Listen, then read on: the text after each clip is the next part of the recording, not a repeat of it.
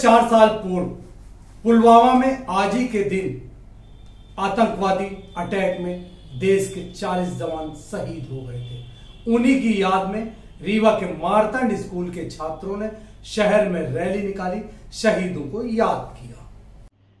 आज से चार साल पूर्व, पुलवामा में आज ही के दिन 14 फरवरी को, आतंकवादी संगठन जैसे मोहम्मद के आतंकवादी संगठन ने सेना के जवानों की एक गाड़ी को उड़ा दिया था, जिसकी वजह से हमारे देश के 40 जवान शहीद हो गए थे।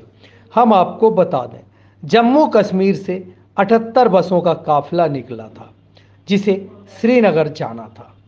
उस काफिले में लगभग 2500 जवान मौजूद थे। सीआरपीएफ के सभी जवान जम्मू से श्रीनगर जा रहे थे।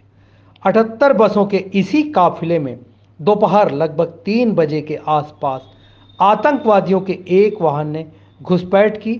एक बस को अपना निशाना बनाया, अपने वाहन को इस बस से टकरा दिया, जिसकी वजह से बस में सवार हमारे देश के 40 जवान शहीद हो गए।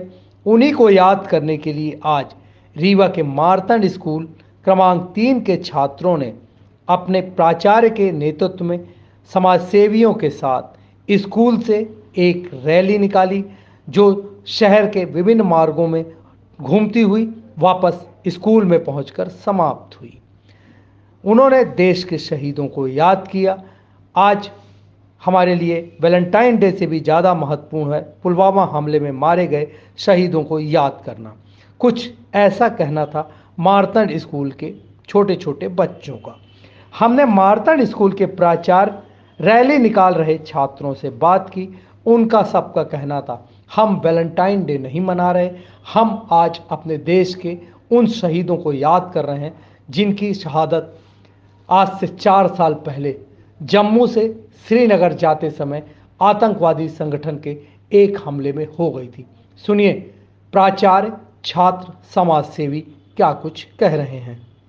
आज पुलवामा में जो हमारे शहीद हुए हैं सैनिक। उनकी यादगार में हम लोगों ने यहाँ पर श्रद्धांजलि सभा रखी है और रैली निकाला है।